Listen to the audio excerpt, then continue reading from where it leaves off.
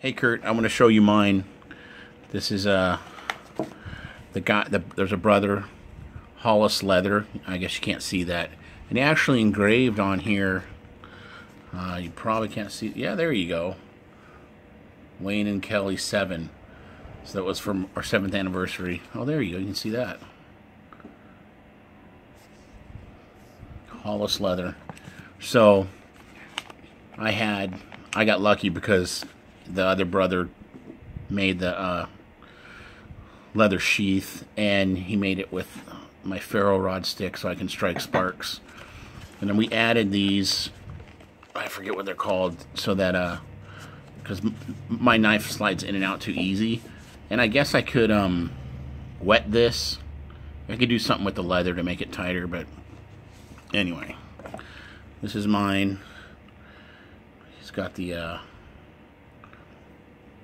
mosaic pins. I wish it would focus. Come on, Galaxy 8 Plus.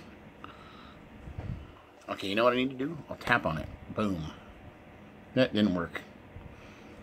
Anyway, so that's mine. They you can pick um. Boy, this thing is not focusing at all. You can pick your uh. Spacers. Can't can't remember what those are called. And then I saw another knife like this. I like where he had the layers of black and green and he, as he sanded it down, it made that shape.